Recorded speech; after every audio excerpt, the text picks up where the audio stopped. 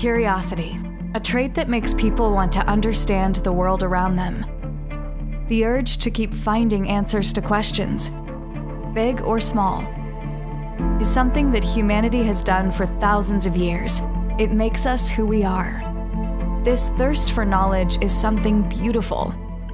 We at Maastricht University's Faculty of Science and Engineering understand that. That's why we offer a one of a kind educational experience within the scope of science, technology, engineering, and mathematics. Education that is academically challenging, but also fosters personal development. Studying at Maastricht University means learning in a small scale international classroom that brings together people with different backgrounds. Our study programs, too, are internationally oriented. They are focused on getting the best out of yourself and great preparation for a future career, be it here or anywhere else in the world.